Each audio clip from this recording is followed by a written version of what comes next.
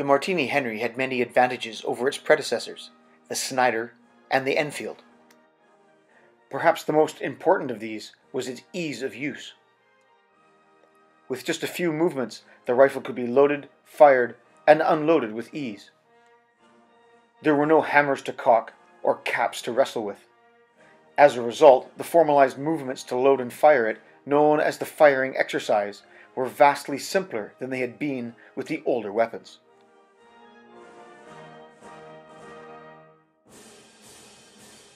By way of comparison, the Enfield, in service just a few years before, had a comparatively staggering 27 movements to load and fire it. Some of these are seen here in the photographs taken by Roger Fenton of Crimean War fame. The Snider had nine steps, whilst the Martini had but seven. Not only was this beneficial in teaching the soldier his trade, but it also translated into much more effectiveness on the battlefield. Exemplary of the musketry drills used in the early Martini era are those contained in the manual entitled Rifle and Carbine Exercises, dating from 1879. It contained all facets of the use of the soldier's weapon, the manual exercise, and of course, the firing exercise. Like all practical military skills, it was first taught by numbers. Firing exercise by numbers standing! At 300 yards, ready! Two. Three.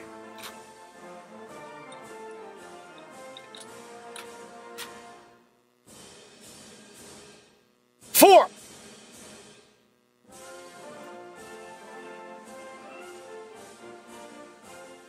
In the first part, the soldier made a quarter turn to the right, pivoting on the heels. The weapon, held at the order, rotated with the body. In the second part, the rifle was thrown up so as to be parallel to the ground, with the small of the butt just forward of the right hip. Simultaneous to this, a 12 inch pace was taken with the left foot, placing the feet at right angles. On the word of command 3, the right thumb was placed in the lever of the rifle, forcing it down, thus opening the breech. A cartridge was then withdrawn from the pouch and thumbed into the chamber. The right hand then grasped the lever of the rifle, pulling it up and closing the breech.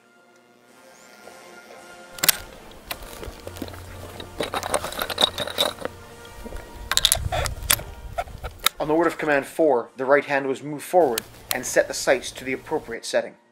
The hand was then returned and the weapon held at the ready position. During this era, the word of command present was the executive command to fire. Present! Two. Three.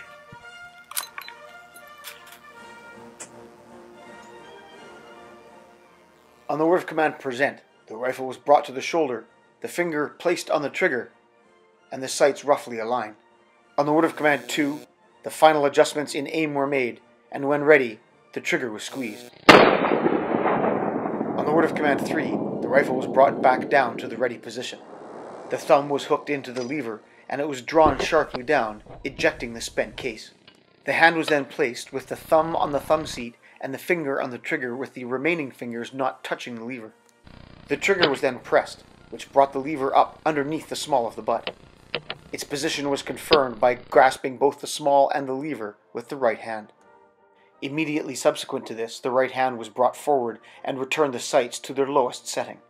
The hands were then brought back to the ready position. Though initially taught from the order, the firing exercise could also be conducted from the shoulder. Firing exercise by numbers standing! At 300 yards, ready! Two.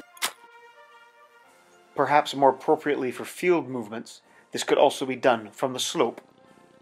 Firing exercise by numbers standing! At 300 yards, ready! Two. The firing exercise at this time was taught in one other position the kneeling. Firing exercise by numbers, kneeling! At 300 yards, ready! Two.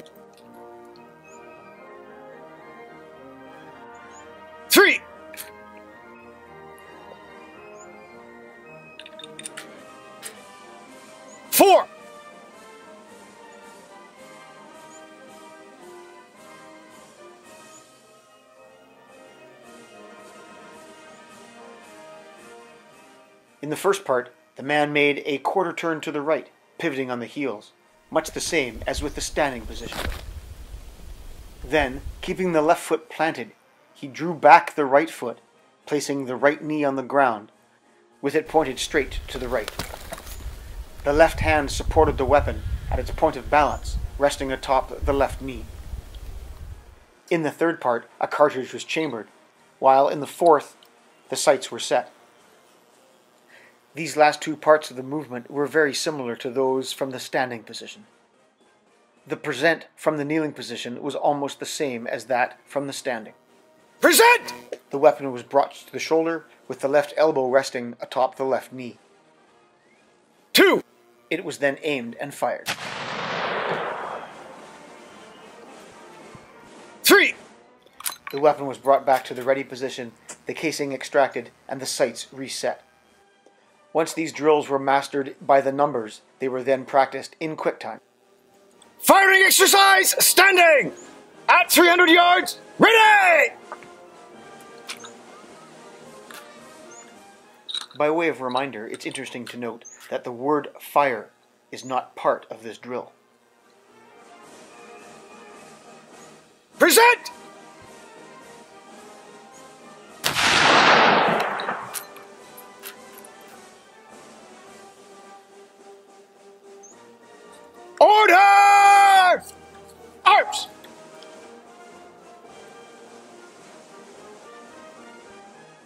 Kneeling in quick time was also practiced.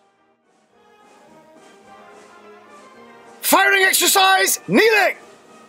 At 300 yards, ready!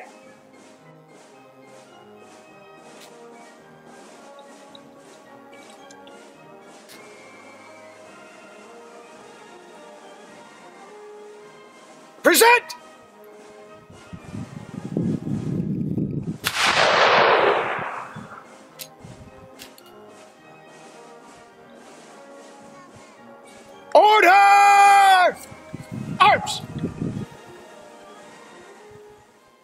In the event of having to unload an unfired round, the drill was quite simple. Unload! Arms! The thumb was placed in the lever, drawing it down and extracting the unfired round. This was placed back in the pouch. Springs were eased and the ready position reassumed. It goes without saying that the firing exercise, especially when taught and performed by numbers, was a vehicle of instruction used to teach recruits the handling of their weapons. The actual use of the martini on the battlefield was somewhat more efficient. Fire was delivered by volleys or independently, with the unit formed shoulder to shoulder in a two rank line, or with its files extended. The image of that two rank line, pounding volleys at the enemy, is rousing in the extreme. But it is important to understand that tactics had evolved past this somewhat Napoleonic technique. It was, however, used as an expedient against poorly armed native enemies. A single rank, with the men spaced three to six paces between them, was the accepted battlefield formation against an enemy armed with similar weapons. It limited the effect of the enemy's fire, while also allowing the Martini's firepower to be developed completely. I suppose the main takeaway from this point is that the image of the British infantry standing two ranks deep, firing volleys at the enemy, is not necessarily the most accurate one. This, as mentioned before, was rather an expedient, reverted to out of necessity. Volley fire was used frequently, especially at range, and offered some degree of control. It is noted here, taken from the 1879 manual, that when the word of command present is given, there would be a pause equal to three beats of slow time before firing. This example of volley firing is delivered by two files, four men, in rank entire, acting under the orders of their officer or NCO. Kneeling, fire volley! At 300 yards, ready!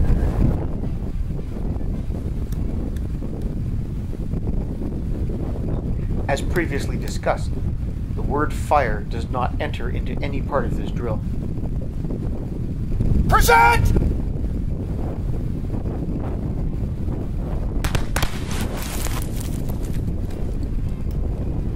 The second way to deliver the fire of the Martini Henry was by independent firing. This was a two-man evolution, with fire alternating between the front and the rear rank man, whether they were in two ranks or rank entire. Independent fire would typically have been used in more close quarter situations or while skirmishing. It mentions in the manual that the commands to fire and to cease fire would be given on the drum or bugle. It's important, however, to put this in the correct context, in that these are the orders delivered by the company officers or indeed the colonel, while the executive orders to commence firing or to cease firing came directly from the officers or NCOs commanding sections.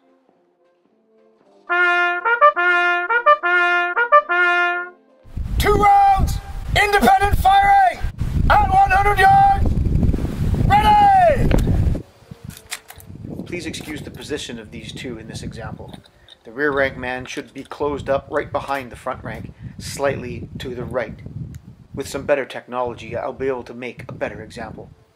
In independent fire, the executive command to fire was the word commence. Commence! Note here that the rear rank man holds his fire in reserve until his front rank man has made ready. Only then does the rear rank man present. The process is then reversed, with the front rank man holding his fire until his rear rank man has readied.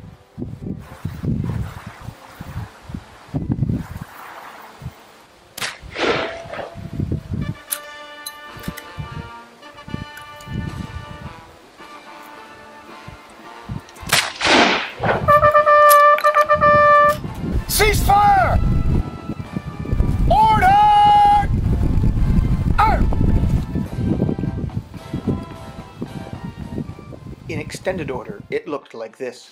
When the command to fire was given, the rear rank man moved up to the left of his front rank man. Two rounds! Independent firing! At 100 yards! Ready!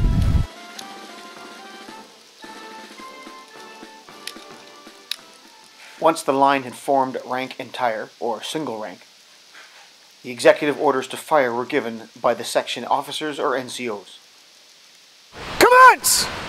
The front rank man presented first, followed by the rear rank man once the front rank man had readied.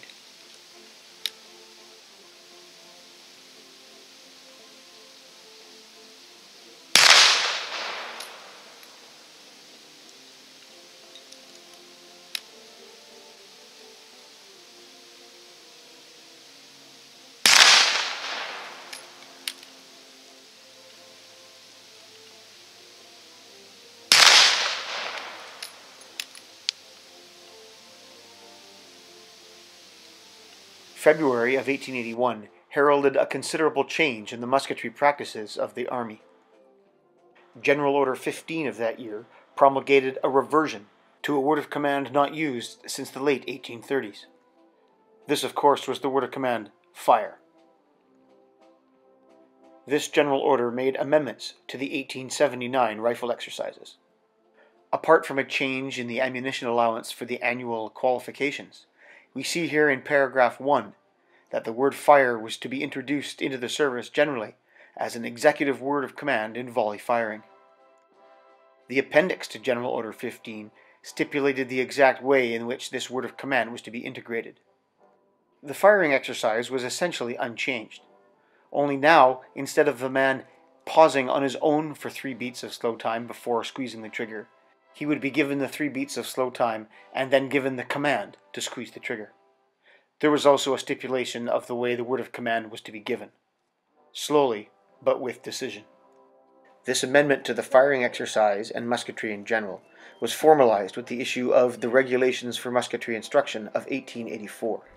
Fire a volley! At 300 yards! Ready!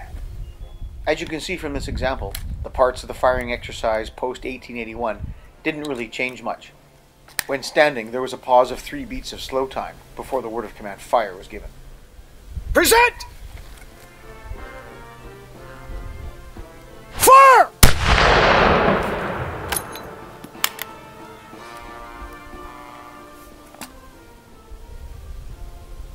Kneeling! Fire a volley! At 300 yards! Ready! In the kneeling position, a pause of four beats of slow time was allotted before the word of command fire was given. Present! Fire!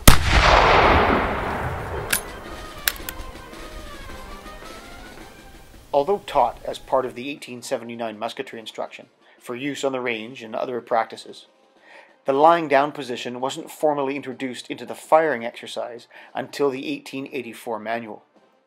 It was taught as a conventional prone position. Firing exercise by numbers, lying down! At 300 yards, ready! In the first part, the customary right half turn was made, simultaneously bringing the rifle to the trail in the right hand. Two, In the second part, the right knee and the left hand were placed on the ground and the body lowered. The rifle was transitioned with the right hand holding the small. three, The third and the fourth parts were virtually identical to that of the firing exercise from before. The third part saw the rifle chambered, and the fourth the sights set. four, When volley firing from the lying down position, a pause of six beats of slow time was allotted before the executive fire. present!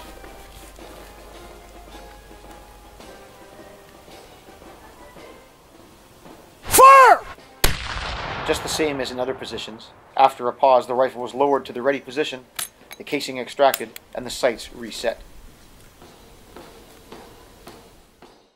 The era of the Martini Henry saw great change in both musketry practices and tactical practices. It allowed for less dense infantry formations on the battlefield due to its increased firepower. This increased dispersion on the battlefield also limited the effect of enemy fire. There were times, though, when confronted with vast, fast moving native forces, that the old two rank line without intervals was required. Often this was in conjunction with another somewhat old fashioned tactic, that of defending from a square. Whether it was in a thin, extended firing line strung across the peaks of some low hills, from behind a barricade, or with nothing more than a bayonet between friend and foe, the Martini Henry and the men who wielded it, using the drills shown here, firmly established themselves and their rifle as the builders and guardians of an empire that stretched across the globe. And remember, dozens of Martini men can't be wrong. For all your Martini brass needs, contact Martin at X Ring Services. I thought I might close with a mention of the kit used in this video. This is a picture of the 78th Highlanders in the Barrack Square in Kandahar around the year of 1880. Though typically not worn in action in the Indian theatre, the Highland pattern frock in traditional colors figured prominently as the day to day dress of battalions stationed there.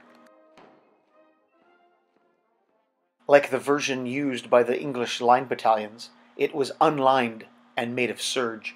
The collar was faced in the regimental facing color, that of the 78th being buff.